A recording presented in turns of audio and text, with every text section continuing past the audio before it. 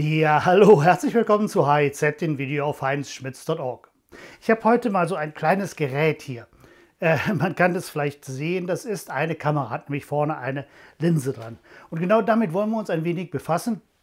Es geht um eine Möglichkeit, was man so mit Überwachungskameras machen kann. Was ich hier habe, wenn wir uns das von oben mal ansehen, ein nettes kleines Gerät äh, mit einem interessanten Fuß, den man etwas ausfahren kann. Ein bisschen haben die Konstrukteure nicht aufgepasst.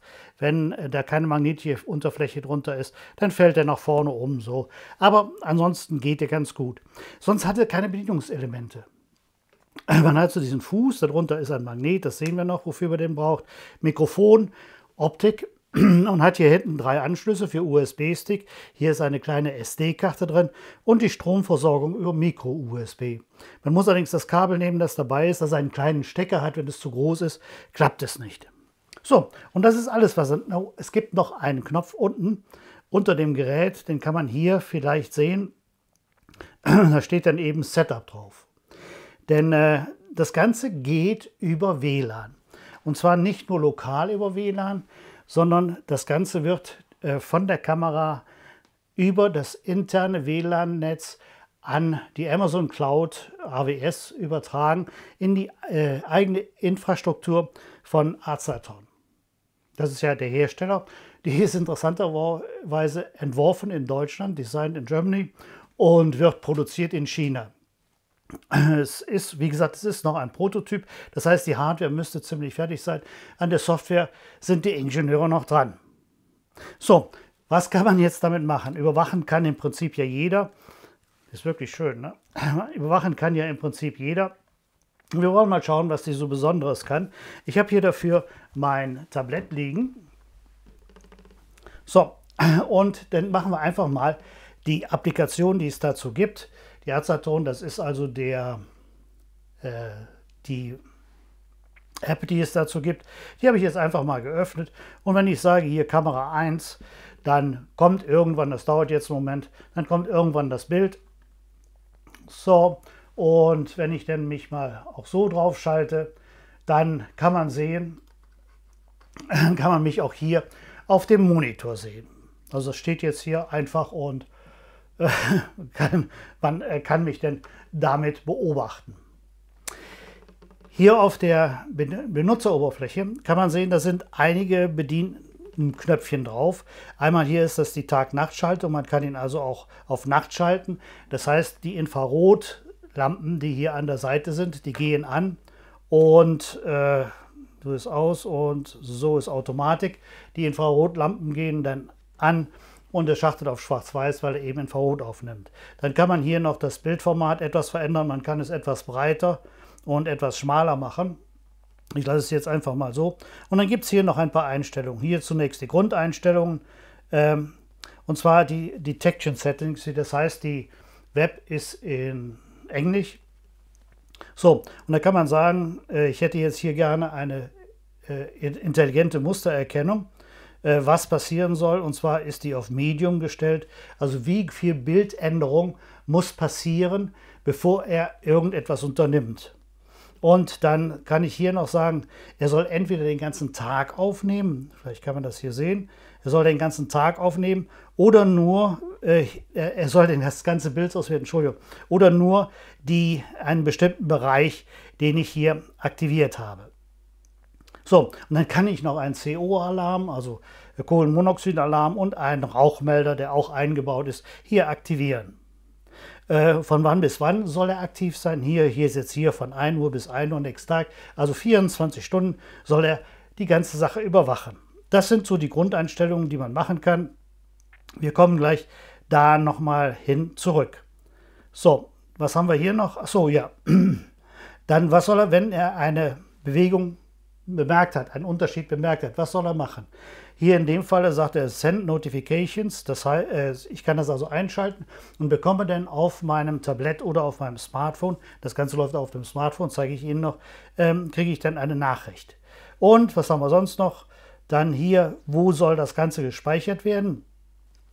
Soll das Video den ganzen Tag über gespeichert werden. Dann wird von jeder Minute des Tages ein Videoclip gemacht und der wird auf der internen SD-Karte abgelegt. Hier kann man auch die SD-Karte formatieren und so weiter und so weiter. Man kann auch das Video ausschalten, dann wird es nicht aufgenommen. So, und hier haben wir noch so ein bisschen Basing Settings. Soll er Ton mit aufnehmen oder soll er nur, wachen, äh, nur Bild aufnehmen? Äh, soll er ein Statuslicht anmachen? Das ist hinten eine blaue Leuchtdiode, die an ist. Und ähm, soll man das Image drehen lassen? Denn äh, man kann es also nicht nur, ich lasse das mal hier mal drehen, Rotate Image, dann stellt er das Bild auf den Kopf. Wollen wir mal schauen. So, wo bin ich denn? Ups, Entschuldigung, das habe ich mir abgeschaltet. Äh, da stellt er das Bild auf den Kopf. Also jetzt müsste ich, wenn Sie mich richtig sehen wollen, auf den Kopf stellen. Man kann natürlich auch was anderes machen. Da er einen Magnetfuß hat, kann man ihn auch einfach irgendwie an einen, ups, magnetischen Teil anbringen. Und jetzt können wir hier mal eine schöne Galerie äh, als Überwachung sehen. Wenn die sich also jetzt bewegen würden, was da nicht möglich ist, würde man, sie, würde man diese Bewegung sehen. Wunderschön, man kann also mit einer Magnetplatte, die dabei ist, die man irgendwo hinkleben kann, kann man ihn auch unter der Decke festmachen und so eine Überwachung fahren. Das ist so das, was man machen kann. Man kann natürlich von den äh, Bildern, die man sieht, direkt ein Foto machen. Hier unten äh, links ist ein Foto. So, und das ist dann auf der internen Speicherkarte gespeichert. Man kann Video kontrolliert aufnehmen und man kann auch ein Timelap machen. Mal schauen, hier More. Da hat jetzt das, äh, es sind die ganzen Meldungen hier, die gekommen sind. Die wollen wir aber nicht sehen. Äh, das sind also die Meldungen, die ich heute im Testbetrieb aufgenommen habe. Die machen wir einfach mal alle weg, die brauchen wir nicht. Ich hatte also schon einiges gemacht und dabei ist das passiert. So, jetzt wollen wir mal schauen. Und hier gibt es eine Funktion, die heißt Timelap. Das habe ich mal gemacht. Das heißt also Zeitraffer. Wenn, ich habe das, wie gesagt, schon mal gemacht. Und zwar war das ein riesen komplizierter Aufbau. Ich habe also einfach eine Uhr hingestellt, hier ein paar bunte Unterlagen, hier die Kamera und habe das Timelap so eingestellt, dass er 24 Stunden aufnehmen soll. Äh, schauen wir mal. Und zwar sah das Ganze denn, wo haben wir das hier? Da ist es. Das Ganze sah dann so aus, wie Sie sehen, läuft jetzt hier der Uhrzeiger relativ schnell. Ähm, und wenn es dunkel wird, das stand ja auf Automatik, dann geht er eben auf Schwarz-Weiß und schaltet die äh, Infrarotleuchtdioden an, sodass man was sehen kann. So, und jetzt wurde es wieder hell und schon waren die 24 Stunden um. Äh, es gibt eine Einschränkung bei, die müssen so eingestellt werden, dass die insgesamte Aufnahmezeit nicht länger als eine Minute ist. Äh, das System ist so programmiert, dass die längsten Filme eine Minute sind. Auch wenn man denn sich mal auf, ansieht, was er über den Tag aufnimmt, wenn man sagt, er soll immer aufnehmen, dann sieht man hier, dass für jede Stunde ein neuer, so, so muss man aufmachen, für jede Minute in der Stunde ist ein neuer Film gemacht. Hier können wir uns auch zum Beispiel ansehen, äh, muss auch da, äh, das war um, um 18.43 Uhr. Da wurde es dann plötzlich dunkel. Das habe ich ja schon vor einiger Zeit aufgenommen, als ich die Kamera bekam aus China. So sehen, und jetzt geht es hier irgendwann, da, da geht es los. Hier wird es dann plötzlich dunkel und automatisch schalten sich jetzt gleich die Infrarotdioden ein und er nimmt jetzt nur noch den Infrarotbereich auf. Also in dem Falle sieht es hier aus wie schwarz-weiß. Das geht also wunderbar, relativ einfach zu realisieren. Ich brauchen wir jetzt nicht mehr. So, das geht relativ einfach zu realisieren. Ähm, wie man das System einbindet, das ist ein bisschen komplizierter. Man nimmt sein Smartphone, ich habe also jetzt hier auch mein Smartphone, äh, auf dem, ups, Entschuldigung, auf dem gibt es auch die Applikation. Na, dafür muss man es erstmal aufmachen. So, dann habe ich auch die Applikation drauf und kann dazu parallel zu dem anderen auch mir den Inhalt ansehen. Das dauert jetzt im Moment, da werden wir das gleiche sehen. Und wenn ich hier die Hand inhalte, dann sehen Sie, wird auch vor beiden wird, äh, erscheint die Hand. Wenn ich also mein Device, mein Tablet oder mein Handy im Hausnetz angemeldet habe, dann kann ich die Applikation laden, finde die, die ähm, Azatron-Kamera und kann die dann, sage dann, verbinde mir die. Das ist ein bisschen kompliziert. Man muss sich erst dann anmelden, einloggen, einen Account anlegen, wie das heute üblich ist, äh, bekommt dann über die E-Mail-Adresse einen Zulassungscode zugeschickt. Den muss man dann eingeben in die Applikation und erst dann wird die Verbindung in die Cloud hergestellt. Denn es ist so, die Daten der Kamera, das können wir sie mal wieder runternehmen, die Daten der Kamera werden in die Cloud geladen, wie ich schon sagte, in die Amazon Cloud, äh, die in, nach Frankfurt gehen, die in dem Falle.